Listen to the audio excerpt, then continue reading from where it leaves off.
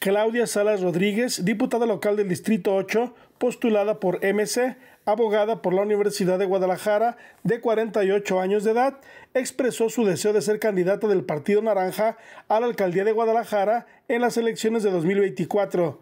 La legisladora fue regidora en el Ayuntamiento de Guadalajara y en el Congreso ha impulsado la agenda de igualdad entre mujeres y hombres, además de encabezar una de las comisiones de mayor importancia, como lo es la de Hacienda y Presupuestos. Claro que hay muchas mujeres que buscamos eh, presidir los presidencias municipales y tenemos toda la capacidad de hacerlo en todos los partidos políticos, así que yo creo que vienen cosas muy interesantes para nuestro Jalisco, para más oportunidades, para más mujeres haciendo política de la buena dijo que la clave para que Guadalajara sea gobernada por una mujer el siguiente trienio serán los lineamientos de paridad que apruebe la autoridad electoral. Para la elección del 2 de junio de 2024, los partidos estarán obligados a postular una candidata mujer y luego un candidato varón en los principales ayuntamientos de Jalisco. Por eso es muy posible que Guadalajara o Zapopan solo compitan candidatas mujeres.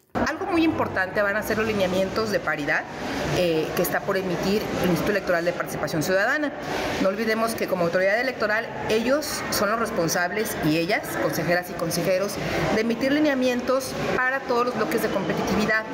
¿Cómo se van a dar estos bloques? Es una cuestión que ellos tienen que eh, muy clara y de eso dependerá mucho el que las puertas estén abiertas para las mujeres, y no solo para las mujeres, para los migrantes, para personas con alguna discapacidad, para los grupos de la diversidad. Claudia Salas tiene 25 años en el servicio público y compitió para ser presidenta de la Comisión Estatal de Derechos Humanos hace cinco años.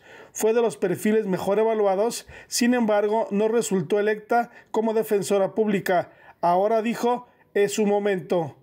UDG TV Canal 44, Ignacio Pérez Vega.